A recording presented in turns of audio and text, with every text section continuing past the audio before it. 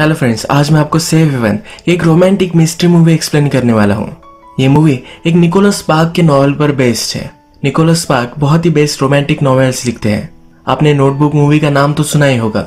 ये मूवी भी उन्होंने ही लिखी थी। आज की हमारी मूवी भी one of the best romantic movie है।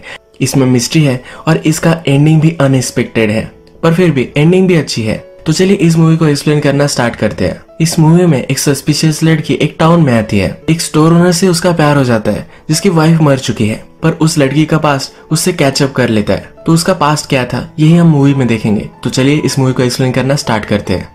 मूवी स्टार्ट होती है और हम देखते हैं कि एक लड़की भाग रही है। ये हमारा मेन कैरेक्टर है, जिसका नाम है केटी केटी अपने नेबर से हेल्प मांगती है और इसके बाद डायरेक्टली बस स्टॉप पर आ जाती है। केटी का पीछा पुलिस डिटेक्टिव कर रहे हैं, पर उनसे नज़र छुपाकर वो यहाँ से भाग गई है। केटी की बस दूर तक जाने वाली है, पर स्टॉप के लिए साउथ पोर्ट इस गाँव में रुकती है। जब केटी आसपास देखती है तो ये बहुत ही ब्यूटीफुल टाउन है। इस टाउन के पैर में पड़ जाती है। वो डिसाइड करती है कि अब उसे यही रहना है। वो पुलिस से छिपना चाहती है। इसके लिए भी टाउन परफेक्ट है।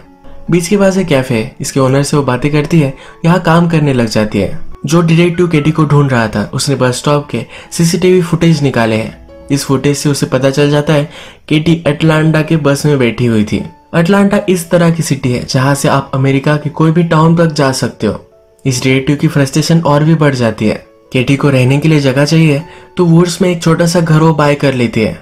रात में उसे वायलेंस के सपने आते हैं, इसी वजह से वो सो नहीं पाती। आसपास जंगल ही है तो अलग अलग एनिमल्स के आवाज़ भी उसे आते हैं। ये पुराना हाउस है तो रात में वो नोटिस करती है कि उसके फ्लोर्स भी खराब है। नेक्स्ट सुबह केटी शॉपिंग के लिए जाती है। जिस शॉप पर वो आती है, वहाँ एक क्यूट सी लड़की जिसका नाम है लेक्सी केटी लेक्सी से पूछती है कि क्या आपके पास कोई पेंट वगैरह है? लेक्सी पूछती है कि पेंट किसके लिए चाहिए? केटी कहती है कि मैं फ्लोर पेंट करने वाली हूँ। लेक्सी इस पर बहुत हंसती है, कहती है कि फ्लोर कौन पेंट करता है? केटी उसे पूछती है कि तुम्हें क्या लगता है? कौन सा कलर मुझे चूज़ करना चाहिए? लेक्सी कहती है कि सन का कलर तुम चूज़ कर लो। ये लो, वो बहुत ही ब्राइट लगेगा। केटी को भी आइडिया बहुत अच्छा लगता है। या फिर लेक्सी के फादर आते हैं, जिसका नाम है एलेक्स ये हमारा और एक मेन कैरेक्टर है। एलेक्स ने केटी को कल बस से उतरते हुए देखा था। एलेक्स को नहीं लगा था कि इसी टाउन में वो आई हुई है। एलेक्स केटी से पूछता है कि तुम यहाँ कैसे रुक गई हो? जनरली लोग सिर्फ़ जरा हॉल्ट यहाँ लेते हैं। केटी इस पर कुछ भी नहीं बोलती। केटी को कलर चाहिए तो एलेक्स उसे एक बुक देता है। इस बुक में से वो अपना कलर चूज़ कर सकती है। इस सीन में हम देख सकते हैं कि एलेक्स जब केटी से बात कर रहा था, थोड़ा सा वो नर्वस था। एलेक्स के साथ स्टोर में एक बूढ़ा आदमी जिसका नाम है रॉजर यह भी काम करता है। एलेक्स केटी से जिस तरह से बात कर रहा था, इस पर रॉजर उसे चिढ़ाता है। नेक्स्ट सीन में हम देखते हैं केटी कैफ़े में काम कर रही थी। तभी पुलिस आ जाते हैं। केटी को लगता है कि उसे पकड़ने के लिए वो आए हैं, पर पुलिस का और कुछ काम था। वो फिर रिलैक्स होती है। केटी जब घर पर आती है तो वहाँ एक औरत है जो उसके घर में देख रही है। यहाँ हमारा और एक कैरेक्टर है, जिसका नाम है जो आपको मूवी में शायद लगेगा कि जो ज़्यादा इम्पोर्टेंट कैरेक्टर नहीं है, पर ये जो भी सब करती है जो भी कहती है। इस पर आप ध्यान रखिएगा। मूवी के लास्ट में आपको सब कुछ समझ में आएगा। केटी जो से पूछती है, तुम यहाँ क्या कर रही हो? जो उसे सॉरी कहती है कहती है कि मैं तुम्हारी नेबर ही हूँ। मैं अकेली पड़ जाती हूँ, इसीलिए मैं देख रही थी कि मेरा नेबर कौन है। जो कहती है कि मुझे पता है कि तुम यहाँ क्यों आई हो। सिटी में जो भाग दौड़ होती है, बहुत सारी आवाज़ें आती है। इससे जरा दूर यहाँ बहुत ही शांत लगता है। क्या इसीलिए तुम यहाँ आई हो। केटी भी इसके लिए एग्री करती है। जो उसे कहती है कि रोड के सामने में रहती हो। अगर तुम्हें कुछ भी लगेगा तो मैं तुम्हें हेल्प कर सकती हूँ।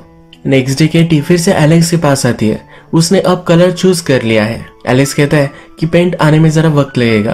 तब तक तुम तुम्हारा नाम और नंबर मुझे दे सकती हो। यानी कि जब भी पेंट आ जाए तो मैं तुम्हें कॉल कर दूँगा। केटी उसे नंबर नहीं देना चाहती तो कहती है कि मंडे में आकर खुद चेक कर लूँगी। जब केटी यहाँ से जा रही थी तो एलिस की डॉटर जिसका नाम है लेक्सी एक पेंटिंग बना रही थी। लेक्सी केटी को पसंद करती है तो वो पेंटिंग वो केटी को दे देती है। घर जाते जाते केटी फिर से जो से मिलती है। केटी के हाथ में लेक्सी ने दी हुई पेंटिंग है तो जो इसके बारे में पूछती है। जो को पेंटिंग बहुत ही पसंद आती है। वो कहती है कि ये तो एक फ्लाइंग फ़िश है। जब ये टाउन में से चलते चलते जाते हैं तो जो कहती है, कितना ब्यूटीफुल डे है। ये सिटी भी बहुत ही ब्यूटीफुल है। जो को हमेशा से पूरा वर्ल्ड घूमना था। अब तो वो कुछ भी घूमी नहीं है। किटी कहती है कि अभी तो तुम्हारी कुछ भी एज नहीं है। तुम अभी भी ये सब चीज़ें कर सकती हो। इसके बाद इनकी वॉक खत्म होती है और अपने अपने रास्ते चले जाते हैं। जब केटी और एलेक्स बात कर रहे थे तो केटी के बॉस ने देख लिया था। जब केटी और बॉस बात करती है तो बॉस केटी से कहती है कि एलेक्स की वाइफ थी, जो थोड़े सालों पहले गुजर चुकी है। उसके बाद एलेक्स की हालत बहुत ही खराब हो चुकी थी। बॉस ने एलिस को इतने साल बाद केटी के साथ जब वो था, तब खुश देखा है। इसलिए वो चाहती है कि दोनों कपल बनने चाहिए। इसलिए सब चीज़ें वो केटी को कहती है। एक दो दिन में केटी पेंट लेने के लिए आती है। एलेक्स उसे पेंट देता है, पर यह बहुत ही हेवी है। तो एलेक्स उसे पूछता है कि अगर तुम चाहो तो मैं तुम्हें लिफ्ट दे सकता हूँ। एलेक्स ज़्यादा इंटरेस्टेड नहीं है तो इसके लिए मना कर देती है। आगे चलती है, पर उसके हाथ हर्ट होने लग जाते हैं। वो पीछे मुड़ती है तो एलेक्स उसे ही देख रहा है। एलेक्स फिर उसे लिफ्ट दे देता है। एलेक्स पेंट घर में रखने के लिए आना चाहता है, पर केटी उसे बाहर ही रख कर जाने के लिए कहती है। केटी फ्लोर पेंट करती है, और उसके साथ जो भी है, जो और केटी अब फ्रेंड्स बन चुकी है, जो केटी से पूछती है कि लगता है कि थोड़े टाइम तक तुम इसी टाउन में रुकोगी। केटी भी इसके लिए अब एग्री करती है, क्योंकि उसे टाउन अच्छा लगने लगा है। रात में हम देखते हैं कि एलेक्स एक बाइसिकल रिपेयर करता है। वो जाकर केटी के घर के बाहर रख कर आता है। केटी छुप ही रही है तो उसे लगता है कि उसे ढूंढते ढूंढते कोई आ चुका है। वो बहुत ही डर गई थी, पर सुबह उसे पता चला कि एलेक्स ये बाइसिकल उसे गिफ्ट कर कर चला गया है। एलेक्स उसके लिए केयर करता है। वो हमेशा पैदल घूमती है तो बाइसिकल से फास्टर घूम सकती है, इसलिए वो ये जेस्टर करता है। केटी इस पर गुस्सा हो जाती है और डायरेक्टली एलेक्स के पास जाती है। ये बाइसिकल रिटर्न करती है। एलेक्स कहता है कि ये गिफ्ट था, पर केटी कहती है, कभी भी रात में इस तरह से मेरे घर पर मत आना। एलिस भी थोड़ा सा अब नाराज़ हो जाता है और कहता है कि कोई तुम्हारे लिए कुछ अच्छा करे तो तुम्हें उसे थैंक यू कहना चाहिए। अब ये दोनों एक दूसरे से नाराज़ है। रात में जो और केटी हैंग आउट कर रहे हैं, जो भी सब हुआ, ये केटी ने जो को बताया है। जो कहती है, ये एक स्मॉल टाउन है, यहाँ छोटे मोटे जेस्टर्स तो चलते रहते हैं। अगर तुम इस टाउन में रहना चाहती हो तो इन चीज़ों की तुम्हें आदत कर लेनी पड़ेगी। यहाँ के लोग बहुत ही अच्छे हैं और तुम्हें हेल्पफुल चीज़ें वो देकर जाते हैं। केटी भी रियलाइज़ करती है कि वो बहुत ही हाश थे। उसे ऐसा एलेक्स को नहीं बोलना चाहिए था। जो उसे समझाती है कि लाइफ में सेकंड चांसेस ही इंपॉर्टेंट है। नेक्स्ट डे किटी एलेक्स के पास जाती है और कहती है कि वो सॉरी है। उसे इस तरह से कुछ भी कहना नहीं चाहिए था। एलेक्स अब भी नाराज़ ही है। वो कहता है, कभी भी इस तरह की चीज़ मैं फिर से नहीं करूँगा। ये दोनों बात ही कर रहे थे। तभी एलेक्स का बेटा जॉर्ज बोट पर खेल रहा था और वहाँ से गिर जाता है। एलेक्स अपने बेटे को बचाता है, पर उसकी बेटी लेक्सी बहुत ही डर गई थी। तो केटी उसे सहारा देती है, उसे शांत करती है। जब एलेक्स अपने बेटे को बचा लेता है तो केटी के पास आता है। लेक्सी को देखने के लिए वो केटी को थैंक्स कहता है। जाते जाते कह कर जाता है कि एक चीज़ तुम भूल रही हो। यानी कि बाइसिकल वो लेकर जाए, ये वो इंडिकेट करता है। लेक्सी भी बाइसिकल अब ले लेती है। नेक्स्ट में हम देखते हैं कि जो डिटेक्टिव केटी की इन्वेस्टिगेशन कर रहा था, उसने सीसीटीवी कैमरेस में देखा है कि केटी ने अपने हेयर डाई कर लिए है और वो शॉर्ट भी है। उसके पास केटी का जो फ़ोटो था, इसे वो फोटोशॉप करता है। नेशन वाइड फिर सब पुलिस स्टेशन में फैक्स करवाता है। इस फैक्स में केटी का फोटोशॉप किया हुआ फ़ोटो और केटी एक फ़र्स्ट डिग्री मर्डरर है, ये लिखा है। नेक्स्ट सीन में हम देखते हैं कि अपने डॉटर और अपने सन को लेकर एलेक्स आज बीच पर जाने वाला है। केटी भी अपनी बाइसिकल से टाउन में घूम रही थी। एलेक्स और वो बात करने लग गए और एलेक्स ने केटी को बीच पर इनवाइट किया। केटी भी इसके लिए मान जाती है। केटी और लेक्सी की बहुत जमती है। ये बीच पर जाकर शॉपिंग करते हैं। जब एलेक्स और उसका बेटा जॉश ये अकेले होते हैं तो जॉश कहता है क्या तुम्हें इससे कोई भी प्रॉब्लम नहीं है? केटी हमारे साथ है जॉश अपनी मदर को बहुत ही मिस करता है। तो उसके फादर किसी से भी बात ना करे, ऐसा उसे लगता है। बीच पर बहुत ही ब्यूटीफुल डे स्पेंड करते हैं। जॉश एक फ़िश पकड़ता है, जिसकी फ़ोटो एलेक्स लेना चाहता है। पर एलेक्स फ़ोटो ले, इससे पहले इस फ़िश को जॉश छोड़ देता है। एलेक्स नाराज़ होकर पूछता है, तुमने ऐसा क्यों किया? जॉश कहता है, ये फ़ोटोज़ की मेमोरी क्या इंपॉर्टेंट है? ये जो मूवमेंट है, इसे याद रखना। यहाँ जॉश इनडायरेक्टली बोल रहा था कि एलेक्स को हमेशा उसकी वाइफ को याद रखना है। जॉश हमेशा एलेक्स को तंग करता रहता है। केटी उसे कहती है कि एक फ़ेज़ है, ये भी निकल जाएगा। एलेक्स केटी से पूछता है कि तुम यहाँ क्यों आई हो?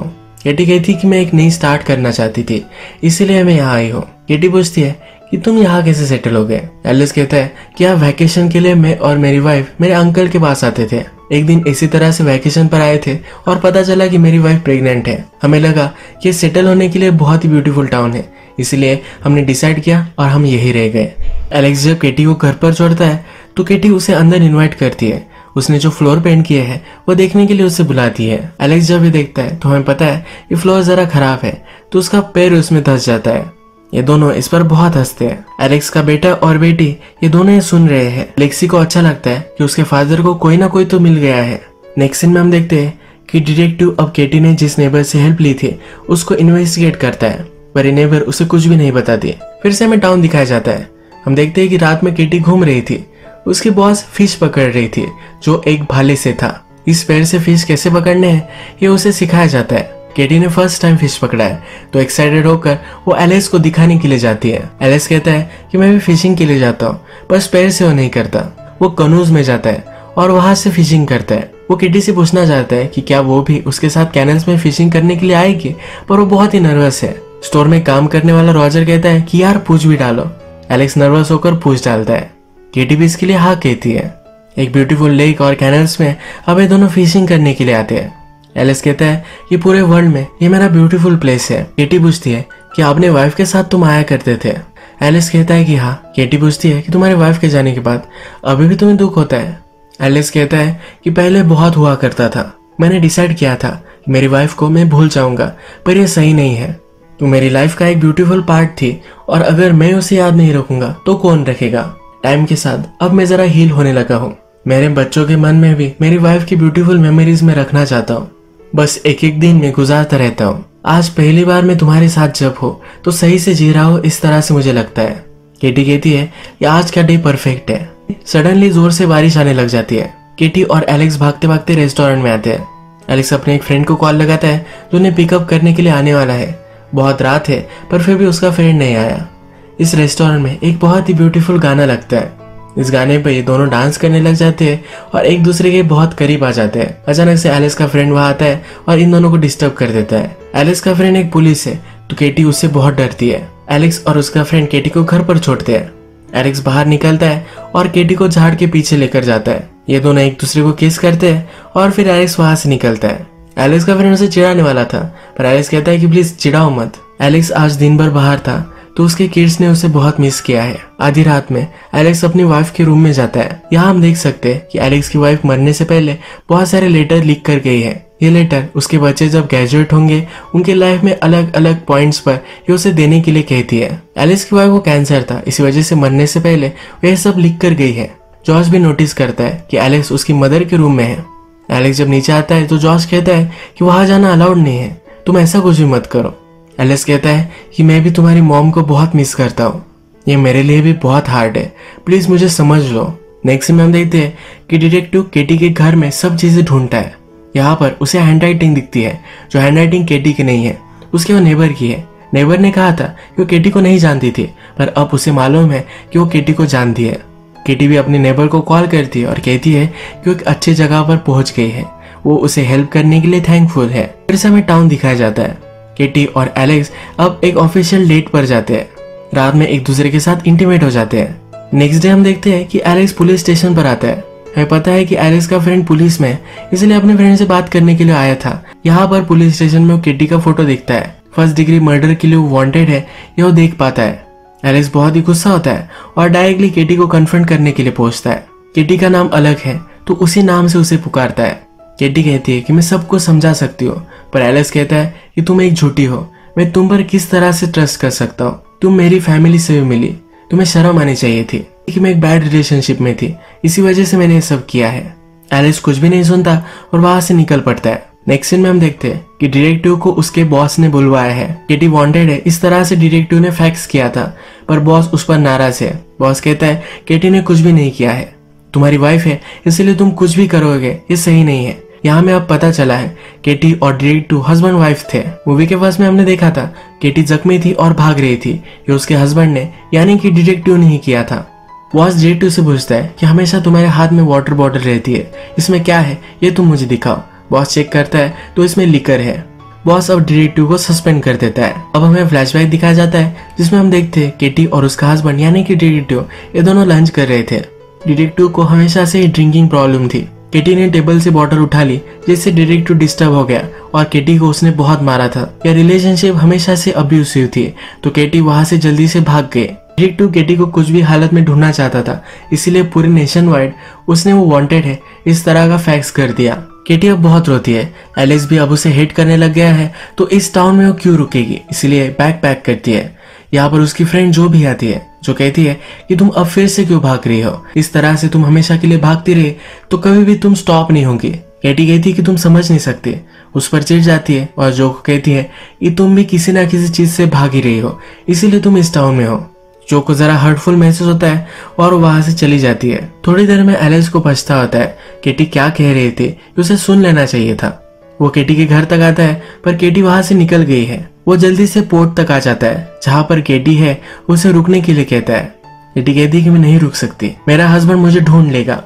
एलिस कहता है कि हम पुलिस के पास जाएँगे।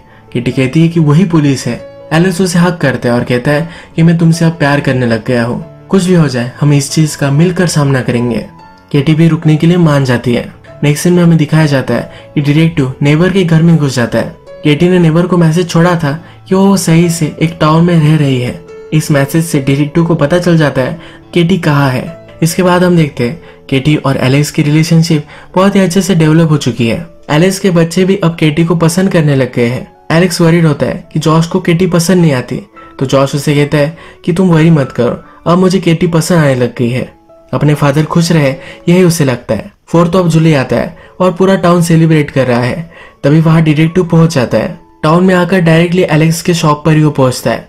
यहाँ पर लेक्सी काम कर रही है। लेक्सी डिटेक्टिव से कहती है कि तुम हो कौन? डिटेक्टिव अपने आप को इंट्रोड्यूस कराता है। लेक्सी को लगता नहीं कि ये डिरेक्टिव है, क्योंकि ये ड्रंग है। डिटेक्टिव फिर लेक्सी को केटी का फ़ोटो दिखाता है। लेक्सी स्मार्ट है तो केटी के बारे में उसे कुछ भी नहीं बताती। डिरेक्टिव को लगा था कि यहाँ कुछ ना कुछ तो गड़बड़ है। एलेक्स जब लेक्सी को लेने के लिए आता है तो एलेक्स का वो पीछा करता है। बीच के पास आकर सब लोग मज़े कर रहे हैं डांस कर रहे हैं। वहाँ एलेक्स और केटी भी है। इन दोनों को डिटेक्टिव देख लेता है। रात में फायरवर्क्स जलाने के लिए एलेक्स अपने फ्रेंड्स के साथ चला जाता है। अपने साथ जॉश को भी लेकर जाता है। केटी और लेक्सी शॉप पर ही रुकते हैं। केविन हमेशा से उन पर नज़र रख रहा था। जब केटी और लेक्सी सोए हुए हैं तो केटी को सपना आता है और सपने में जो उसे कह रही है कि वो आ चुका है, जिससे तुम भाग रही थी, वो इस टाउन में है। इस सपने से डिस्टर्ब होकर केटी उठती है तो एक्चुअल में केविन घर में है। केविन उसे कहता है कि हम दोनों को बात करनी चाहिए। मैंने तुम्हें बहुत ही मिस किया है। केटी लेक्सी से दूर डिरेक्टो को बाहर लेकर आती है। डिरेक्टो लेक्सी से माफ़ी माँगता है। कहता है कि कभी भी इस तरह से फिर से नहीं होगा। केटी अब उसे माफ़ नहीं करने वाली। कहती है कि हम दोनों कभी भी अब कपल नहीं बन सकते। डिरेक्टो के हाथ में गन भी है, पर केटी उसे नहीं डरती। वहाँ से चला जाता है और केटी लेक्सी के पास आती है। शॉप के सब दरवाजे वगैरह बंद करती है और लेक्सी को ऊपर लेकर जाती है। केटी को नीचे से आवाज़ आती है और केविन पूरे शॉप को जला रहा है। केटी जल्दी से उसके पास जाती है। वो लाइटर से जलाने वाला था, उसे रोक लेती है। उससे कहती है कि मैंने अब रियलाइज़ किया है कि हम दोनों एक परफेक्ट जोड़ी है। तो उसके करीब आती है और उसे पानी में ढकेल देती है। तभी हम देखते हैं कि एलेक्स पटाखे जला रहा था। वो दूर था, पर वो रॉकेट जला रहे थे। एक रॉकेट की चिंगारी आग कर स्टोर को जलाने लग जाती है। एलेक्स आग देखता है और वापस आने लगता है।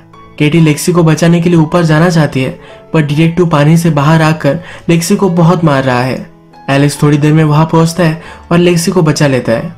एलेक्स लेक्सी को बचा रहा था, इसी वजह से केटी को हेल्प नहीं कर पाया। डिटेक्टिव ने अपनी गन निकाली थी। वो केटी को मारने वाला था, पर यह गन केटी चला देती है और डिटेक्टिव मर जाता है। आग शांत होती है। पूरे हाउस में से एलेक्स ड्रॉर निकालता है, जिसमें उसकी वाइफ ने लेटर्स लिखे थे। ये सारे लेटर्स अभी तक इंटैक्ट है। जॉर्ज की मदर का रूम जल चुका है तो बहुत रोता है। एलिस कहता है कि जिस तरह से पहले रूम था, उसी तरह से हम फिर से बिल्ड करेंगे। जॉर्ज कहता है कि मॉम को मैं बहुत मिस करता हूँ। एलिस भी कहता है कि मैं भी करता हूँ।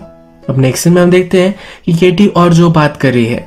केटी ने जो को कहा था कि तुम भी इस टाउन में छुप रही हो। तुम भी किसी ना किसी चीज़ से भाग ही रही हो। तो जो ने अब डिसाइड किया है कि इस टाउन से वो चली जाने वाली है। जाते जाते जो केटी को कहती है कि तुम बहुत सारे पिक्चर्स लेना। सारी मेमोरीज हमेशा इंटैक्ट रखना। जब केटी एलेक्स के साथ है तो एलेक्स केटी को एक लेटर देता है। ये लेटर एलेक्स की वाइफ ने एलेक्स की नई वाइफ जो होगी, उसके लिए लिखा था। केटी लेटर पढ़ती है। इस लेटर में लिखा होता है, अगर तुम ये लेटर पढ़ रही हो तो एलेक्स तुमसे सबसे ज़्यादा प्यार करता है। अगर वो नहीं करता तो कभी भी तुम्हें नहीं मिलता।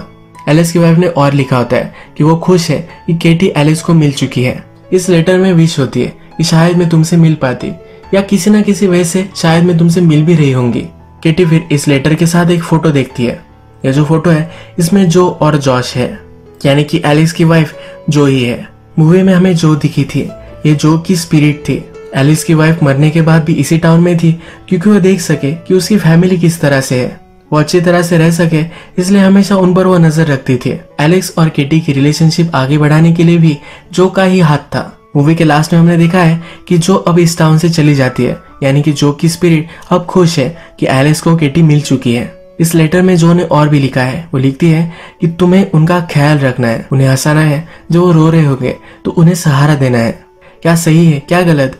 ये अब तुम्हें उन्हें सिखा सकती हो। आई होप एलिस को फिर से महसूस हो कि प्यार किस तरह से होता है। जॉश मेरे साथ फिशिंग करता था तो तुम्हारे साथ भी कर सकता है। वो खुश है कि लेक्सी के वेडिंग डे पर केटी भी उसके साथ होगी वो विशफुल है कि केटी उनकी फैमिली अब कंप्लीट करेगी। इसी एक ब्यूटीफुल नोट पर ये मूवी एंड हो जाती है। अगर आपको ये वीडियो अच्छा लगा तो प्लीज़ इस वीडियो को लाइक कर दीजिएगा। बहुत सारी मूवीज़ लेकर आता रहता हूँ तो प्लीज़ इस चैनल को सब्सक्राइब कर दीजिए और बेल नोटिफिकेशन आइकन दबाने मत भूलिए। फिर से मिलेंगे और एक नई मूवी के साथ, तब तक के लिए थैंक यू और आप अपने ख्याल रखिए।